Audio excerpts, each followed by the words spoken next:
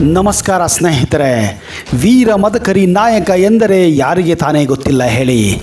ದುರ್ಗದ ಹುಲಿ ಮದಕರಿ ನಾಯಕ. ಭಾರತ ದೇಶದಲ್ಲಿದ್ದ ಹಲವಾರು ಸಂಸ್ಥಾನಗಳಲ್ಲಿ ಒಂದಾದ ಚಿತ್ರದುರ್ಗದ ಕೊನೆಯ ಅರಸರಾಗಿದ್ದರು. ಆದರೆ ಈ ಮದಕರಿ ನಾಯಕರ ಜೊತೆ ಹೈದರಾಲಿ ಮೊದಲು ಸ್ನೇಹ ಬೆಳೆಸಿ, ಅವರನ್ನು ಬಳಸಿ ಮೋಸದಿಂದ ಕೊಂದನೆಂದು ಇತಿಹಾಸ ಸಾರುತ್ತದೆ. ಆದರೆ ಅವರ ಸಾವಿನ ಬಗ್ಗೆ ಇತಿಹಾಸದಲ್ಲಿ ಹಲವಾರು ಆಯಾಮಗಳಿವೆ, ಹಲವಾರು ದೃಷ್ಟಿಕೋನಗಳಿವೆ. ಚಿತ್ರದುರ್ಗದ ರಾಜ ವೀರ ಮದಕರಿ ನಾಯಕ ಸಾವನ್ನೊಪ್ಪಿದ್ದು ಹೇಗೆ? ಮದಕರಿ ನಾಯಕರ ಸಾವು ವೀರ ಮರಣವ ಅಥವಾ ಪ್ರಾಣಾರ್ಪಣೆಯ ಅಥವಾ ಕೊಲೆಯ? ಮದಕರಿ ನಾಯಕರನ್ನು ಮೈಸೂರಿನ ಅರಸ ಹೈದರಾಲಿ ಯುದ್ಧದಲ್ಲಿ ಕೊಂದನ? ಅಥವಾ ಮದಕರಿ ನಾಯಕರನ್ನ ಹೈದರಾಲಿ ಮೋಸದಿಂದ ಬಂಧಿಸಿ ವಿಷ ಕೊಟ್ಟು ಕೊಂದನ. ಹೀಗೆ ಹಲವಾರು ಊಹಾಪೋಹಗಳು, ಹಲವಾರು ಪ್ರಶ್ನೆಗಳು ಈಗಲೂ ನಮ್ಮನ್ನು ಕಾಡುತ್ತಾನೆ ಇವೆ. ಬನ್ನಿ ಸ್ನೇಹಿತರೆ, ಇವತ್ತಿನ ಈ ವಿಡಿಯೋದಲ್ಲಿ ನಿಮಗೆ ಗಂಡುಗಲಿ ವೀರ ಮದಕರಿ ನಾಯಕರ ಆ ಸಾವಿನ ಬಗ್ಗೆ ಕೆಲವು ಅಚ್ಚರಿಯ ವಿಷಯಗಳನ್ನ, ಕೆಲವು ಆಯಾಮಗಳನ್ನ ನಿಮ್ಮ ಮುಂದೆ ಪ್ರಸ್ತುತಪಡಿಸ್ತಾ ಇದ್ದೀವಿ. ಒಂದು ವೇಳೆ ನೀವು ಈ ಚಾನೆಲ್ ಅನ್ನ ಇನ್ನೂ ಸಬ್ಸ್ಕ್ರೈಬ್ ಮಾಡದೇ ಇದ್ರೆ ದಯವಿಟ್ಟು ಈಗಲೇ ಸಬ್ಸ್ಕ್ರೈಬ್ ಮಾಡಿ, ಜೊತೆಗೆ ಬೆಲ್ ಐಕನ್ ಕೂಡ ಪ್ರೆಸ್ ಮಾಡಿ. ಚಿತ್ರದುರ್ಗದ ನಾಯಕರಲ್ಲಿ ಕಡೆಯ ನಾಯಕರಾದಂತಹ ಮದಕರಿ ನಾಯಕ ರಾಜ ವೀರ ಮದಕರಿ ಹುಟ್ಟಿದ್ದು ಸಾವಿರದ ಏಳ್ನೂರ ನಲವತ್ತೆರಡು ಅಕ್ಟೋಬರ್ ಹದಿಮೂರರಂದು. ಒಂಬತ್ತನೇ ಭರ್ಮಪ್ಪ ನಾಯಕರ ಪುತ್ರರಾಗಿ ಇವರು ಈಗಿನ ಚಿತ್ರದುರ್ಗ ತಾಲೂಕಿನ ಹೊಸದುರ್ಗ ಗ್ರಾಮದ ಜನಕಲ್ ಎಂಬ ಸ್ಥಳದಲ್ಲಿ ನಾಯಕ ಸಮುದಾಯದಲ್ಲಿ ಜನಿಸುತ್ತಾರೆ. ಚಿತ್ರದುರ್ಗದ ಇತಿಹಾಸದಲ್ಲಿ ಮದಕರಿ ನಾಯಕ, ಎಂದೆಂದಿಗೂ ಅಜರಾಮರ, ಏಕೆಂದರೆ ಇವರ ಶೌರ್ಯ, ಧೈರ್ಯ, ಸಾಹಸ ಅಂತಹದಾಗಿತ್ತು ಚಿತ್ರದುರ್ಗದ ನಾಯಕರ ಆಳ್ವಿಕೆಯ ಕೊನೆಯ ಅರಸರಾಗಿದ್ದ ಇವರನ್ನ ಗಂಡುಗಲಿ ಮದಕರಿ ನಾಯಕ, ರಾಜವೀರ ಮದಕರಿ ನಾಯಕ, ಒಂಟಿ ಸಲಗ ಮದಕರಿ ನಾಯಕ, ದುರ್ಗದ ಹುಲಿ ಎಂದು ಹಲವಾರು ಬಿರುದುಗಳಿಂದ ಜನರು ಕರೆಯುತ್ತಿದ್ದರು ಹಾಗೂ ಕರೆಯುತ್ತಾರೆ. ಬಹಳ ಚಿಕ್ಕ ವಯಸ್ಸಿನಲ್ಲಿ, ಅಂದರೆ ಹನ್ನೆರಡನೇ ವರ್ಷನಲ್ಲೇ ಚಿತ್ರದುರ್ಗ ಸಿಂಹಾಸನವನ್ನು ಅಲಂಕರಿಸ ಈ ಧೀರ ನಂತರ ಮಾಡಿದ್ದೆಲ್ಲ ಇತಿಹಾಸವೇ. ಚಿತ್ರದುರ್ಗದ ಸಿಂಹಾಸನದ ಮೇಲೆ ಅದೆಷ್ಟೋ ದುಷ್ಕರ್ಮಿಗಳ ಕಣ್ಣು ಸದಾ ಇರುತ್ತಿತ್ತು. ಚಿತ್ರದುರ್ಗದ ಸಂಸ್ಥಾನದ ಬಲ ಎಲ್ಲರಿಗೂ ತಿಳಿದಿತ್ತು. ಅಪಾರ ಐಶ್ವರ್ಯದಿಂದ ತುಂಬು ತುಳುಕುತ್ತಿತ್ತು. ನೆರೆಹೊರೆಯ ರಾಜರಿಗೆ ಅಸೂಯೆ ಕೂಡ ಆಗುತ್ತಿತ್ತು. ರಾಯದುರ್ಗದ ಕೃಷ್ಣಪ್ಪ ನಾಯಕನಿಗೆ ಚಿತ್ರದುರ್ಗದ ಮೇಲೆ ಮೊದಲಿನಿಂದಲೂ ಹೊಟ್ಟೆ ಉರಿ. ಹಾಗೆಯನ್ನು ಸಾಧಿಸಲು ಇವನು ಸಮಯ ಕಾಯುತ್ತಿದ್ದ. ಹನ್ನೆರಡು ವರ್ಷ ಹುಡುಗ ರಾಜನಾದ ಆಡಳಿತವನ್ನು ಮುದುಕಿ ರಾಜಮಾತೆ ನಡೆಸುತ್ತಿದ್ದಾಳೆ ಎಂದು ಅವನಿಗೆ ತಿಳಿದಿತ್ತು. ಚಿತ್ರದುರ್ಗದ ಸೊಕ್ಕು ಮುರಿಯಲು ಇದೇ ಸಮಯ ಎಂದುಕೊಂಡ ಕೃಷ್ಣಪ್ಪ ಉತ್ತರ ಗಡಿ ಪ್ರದೇಶದಲ್ಲಿ ಸೈನ್ಯ ಸಮೇತ ನುಗ್ಗುತ್ತಾನೆ. ರಾಜಮಾತೆ ನಾಗತಿಗೆ ಸುದ್ದಿ ಮುಟ್ಟುತ್ತದೆ. ಕೂಡಲೇ ಶತ್ರುಗಳನ್ನು ಧ್ವಂಸ ಮಾಡಿ ಗೋವುಗಳನ್ನು ಬಿಡಿಸಲು ಆಜ್ಞೆ ಎತ್ತುತ್ತಾಳೆ. ಮದಕರಿ ನಾಯಕ ಎಳೆಮೇಸೆ ತಿರುವುತ್ತಾ ಚಿತ್ರದುರ್ಗದ ಸೇನೆಯನ್ನು ನಡೆಸುತ್ತಾನೆ. ಯೋಧರು ಶತ್ರು ಸಮೂಹ ಮೇಲೆ ಎರಗಿದರು. ರಾಯದುರ್ಗದ ದಂಡು ತತ್ತರಿಸಿ ಓಡಿತು. ಗೋವುಗಳು ಚಿತ್ರದುರ್ಗದ ಶರಣಾಗುತ್ತವೆ. ಹೀಗೆ ಹಲವಾರು ಪಿತೂರುಗಳನ್ನು ಮಾಡುತ್ತಿದ್ದ ಅದೆಷ್ಟೋ ದುಷ್ಟ ಸೈನ್ಯಗಳ ವಿರುದ್ಧ ಹೋರಾಡಿ ಶತ್ರುಗಳ ರುಂಡ ಚಂಡವನ್ನು ಆಡಿದ ಆ ರಾಜ ವೀರ ಮದಕರಿ ನಾಯಕ ಇಂತಹ ಹಲವಾರು ಸಾಹಸಕ್ಕೆ ಸಾಕ್ಷಿಯಾಗಿದ್ದಾರೆ.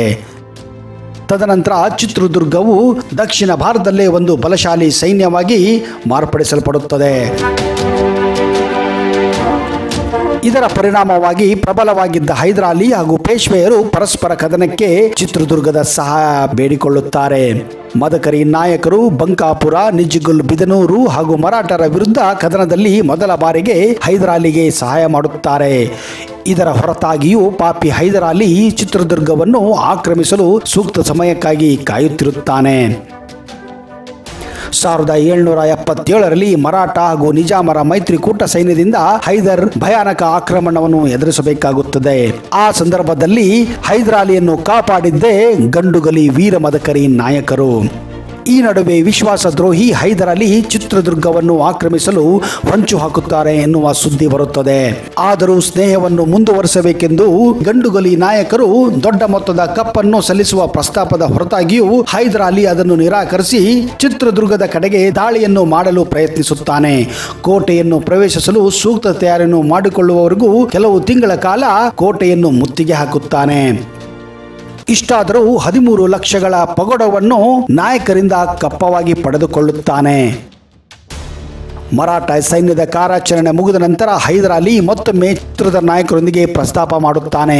ಆದರೆ ಈ ಸಂದರ್ಭದಲ್ಲಿ ಹೈದರನ ಸೈನ್ಯವು ತಿಂಗಳುಗಟ್ಟಲೆ ಮೋಸದಿಂದ ಚಿತ್ರದುರ್ಗದ ಕೋಟೆಯನ್ನು ವಶಪಡಿಸಿಕೊಳ್ಳಲು ಪ್ರಯತ್ನ ನಡೆಸುತ್ತಾನೆ ಇರುತ್ತದೆ. ಮದಕರಿಯ ಆಳ್ವಿಕೆಯಲ್ಲಿದ್ದ ಚಿತ್ರದುರ್ಗದ ಕೋಟೆಯನ್ನು ದುರ್ಗದ ಕೆಲವು ವೈರಿಗಳಿಂದಲೇ ಕೆಲವು ವಿಷಯಗಳನ್ನು ಪಡೆದುಕೊಂಡು ಮದಕರಿಯ ಆಳ್ವಿಕೆಯಲ್ಲಿದ್ದ ಚಿತ್ರದುರ್ಗದ ಕೋಟೆಯನ್ನು ಹೈದರಾಲಿಯ ಸೇನೆ ಮುತ್ತಿಗೆ ಹಾಕುತ್ತದೆ. ಹೀಗೆ ಹೈದರಲ್ಲಿ ಚಿತ್ರದುರ್ಗದ ಕೋಟೆಯನ್ನು ಸುತ್ತುವರೆದಾಗ ಒನಕೆ ಒಬ್ಬವ ಅದಕ್ಕೆ ಪ್ರತಿರೋಧ ಒಟ್ಟಿ ಹಲವಾರು ಸೈನಿಕರನ್ನು ಕೊಂದು ತನ್ನ ಪ್ರಾಣವನ್ನೇ ಕಳೆದುಕೊಳ್ಳುತ್ತಾಳೆ. ಮದಕರಿ ನಾಯಕರ ಸೇವೆಯಲ್ಲಿದ್ದ ಕೆಲವು ವಿಶ್ವಾಸಘಾತಕ ಮುಸಲ್ಮಾನ ಅಧಿಕಾರಿಗಳ ಸಹಾಯದೊಂದಿಗೆ ಚಿತ್ರದುರ್ಗದ ಕೋಟೆಯನ್ನು ಹೈದರಾಲಿ ಸಾವಿರದ ಏಳ್ನೂರ ಎಪ್ಪತ್ತೊಂಬತ್ತರಲ್ಲಿ ವಶಪಡಿಸಿಕೊಳ್ಳುತ್ತಾನೆ. ಮದಕರಿ ನಾಯಕರು ಹಾಗೂ ಆತನ ಕುಟುಂಬವನ್ನು ಶ್ರೀರಂಗಪಟ್ಟಣಕ್ಕೆ ಬಂಧಿಸಿ ಸರಮನೆಗೆ ಕಳಿಸಲಾಗುತ್ತದೆ ಜೊತೆಗೆ ಚಿತ್ರದುರ್ಗದ ಇಪ್ಪತ್ತಕ್ಕೂ ಹೆಚ್ಚು ನಾಯಕ ಸಮುದಾಯದ ಸೈನಿಕರನ್ನು ಶ್ರೀರಂಗಪಟ್ಟಣದ ದ್ವೀಪಕ್ಕೆ ಬಂದಿಯಾಗಿ ಕಳುಹಿಸಲಾಗಿತ್ತು. ಇದರ ಏಕೈಕ ಉದ್ದೇಶವೇನೆಂದರೆ ಚಿತ್ರದುರ್ಗದ ಬಲವನ್ನು ಮುರಿಯುವುದೇ ಅವರ ಗುರಿಯಾಗಿತ್ತು. ನಾಯಕನ ಮರಣ ನಂತರ ಚಿತ್ರದುರ್ಗದ ಬೊಕ್ಕಸವು ಹೈದರಾಲಿ ವಶಕ್ಕೆ ಬಂದಿತ್ತೆಂದು ಇತಿಹಾಸ ಸಾರುತ್ತದೆ. ಆದರೆ ಮದಕರಿ ನಾಯಕರ ಸಾವಿನ ಬಗ್ಗೆ ಹಲವಾರು ಊಹಾಪೋಹಗಳು ಹಾಗೂ ಹಲವಾರು ಆಯಾಮಗಳಿವೆ. ಸಾವಿರದ ಒಂಬೈನೂರ ಎಂಬತ್ತೆರಡರಲ್ಲಿ ಬಿಡುಗಡೆಯಾಗಿದ್ದ ತರಾಸು ಅವರ ಕಾದಂಬರಿ ದುರ್ಗಾಸ್ಥಾಮಾನದಲ್ಲಿ ಯುದ್ಧದಲ್ಲಿ ಹೈದರಾಲಿ ಮದಕರಿ ನಾಯಕರನ್ನು ಕೊಲ್ಲುತ್ತಾನೆ. ಯುದ್ಧದಲ್ಲಿ ವೀರ ಮದಕರಿ ನಾಯಕ ವೀರ ಮರಣವನ್ನು ಹೊಂದುತ್ತಾನೆ ಎಂದು ಉಲ್ಲೇಖಿಸಲಾಗಿದೆ. ಹಾಗೆಯೇ ಸಾವಿರದ ಒಂಬೈನೂರ ಎಂಬತ್ತೊಂದರಲ್ಲಿ ಬಿಡುಗಡೆಯಾದ ಬಿ ಎಲ್ ವೇಣು ವಿರಚಿತ ಕಾದಂಬರಿ, ಗಂಡುಗಲಿ ಮದಕರಿ ನಾಯಕ ಕಾದಂಬರಿಯಲ್ಲಿ ಹೈದರಾಲಿಯ ವಿರುದ್ಧ ಸೋಲು ಖಚಿತವಾದಾಗ ಮದಕರಿ ನಾಯಕರು ಸ್ವತಃ ಖಡ್ಗದಿಂದ ತಲೆ ಕಡಿದುಕೊಂಡು ಪ್ರಾಣಾರ್ಪಣೆ ಮಾಡಿಕೊಂಡರು ಎಂದು ಉಲ್ಲೇಖಿಸಲಾಗಿದೆ. ಹಾಗೆಯೇ ಇನ್ನೊಂದು ಇತಿಹಾಸದ ಪ್ರಕಾರ ಹೈದರಾಲಿಗೆ ಚಿತ್ರದುರ್ಗದ ಕೋಟೆ ಗೆಲ್ಲಲು ಸಾಧ್ಯವಾಗುವುದಿಲ್ಲ. ಸಂಧಾನಕ್ಕಾಗಿ ಮದಕರಿ ನಾಯಕರನ್ನು ಕರೆಸಿಕೊಳ್ಳುತ್ತಾನೆ. ಸಂಧಾನಕ್ಕೆ ಹೋದ ಮದಕರಿ ನಾಯಕರನ್ನು ಬಂಧಿಸಿ ಶ್ರೀರಂಗಪಟ್ಟಣದಲ್ಲಿ ಗೃಹ ಬಂಧನದಲ್ಲಿದ್ದ ಮದಕರಿ ನಾಯಕರಿಗೆ ಅನ್ನದಲ್ಲಿ ವಿಷ ಕೊಟ್ಟು ಕೊಲ್ಲಿಸುತ್ತಾನೆ ಎಂದು ಮದಕರಿ ನಾಯಕ ವಂಶಸ್ಥ ದೊಡ್ಡ ಮದಕರಿ ನಾಯಕರು ಬರೆದಿಟ್ಟಿದ್ದಾರೆ ಎನ್ನುವ ಇತಿಹಾಸ ಕೂಡ ಇದೆ. ಅದೇನೇ ಇರಲಿ ಸ್ನೇಹಿತರೆ, ಗಂಡುಗಲಿ ಮದಕರಿ ನಾಯಕರು ಚಿತ್ರದುರ್ಗದ ಸಲುವಾಗಿ ವೀರ ಸಾವನ್ನೊಪ್ಪಿದ್ದು ಮಾತ್ರ ನಿಜವಾಗಿದೆ. ಸ್ನೇಹಿತರೆ, ಮದಕರಿ ನಾಯಕರ ಸಾವು ಹೇಗೆ ಇರಲಿ? ಗಂಡುಗಲಿ ಮದಕರಿ ನಾಯಕ ಪ್ರತಿಯೊಬ್ಬ ಕನ್ನಡಿಗರ ಮನದಲ್ಲಿ ಅಜರಾಮರಾಗಿದ್ದಾರೆ ಎನ್ನುವುದು ಸತ್ಯ ಸತ್ಯ ಸತ್ಯ. ಸ್ನೇಹಿತರೆ, ಓಂ ಶ್ರೀ ಕ್ಷೇತ್ರ ಕುಕ್ಕೆ ಸುಬ್ರಹ್ಮಣ್ಯ ಜ್ಯೋತಿಷ್ಯ ಫಲ. ಒಂದೇ ಕರೆ, ಕ್ಷಣದಲ್ಲೇ ಪರಿಹಾರ. ನಿಮ್ಮ ಸಮಸ್ಯೆ ಏನೇ ಇರಲಿ, ಎಷ್ಟೇ ಕಠಿಣವಾಗಿರಲಿ, ಶಾಶ್ವತ ಪರಿಹಾರ ನೀಡುತ್ತಾರೆ. ಈಗಲೇ ಸಂಪರ್ಕಿಸಿ, ಜಗನ್ನಾಥ ಗುರುಗಳು, ಒಂಬತ್ತು ಎಂಟು ಎಂಟು ಸೊನ್ನೆ ಎಂಟು ಎರಡು ಏಳು ಎರಡು ಎರಡು ಎರಡಕ್ಕೆ.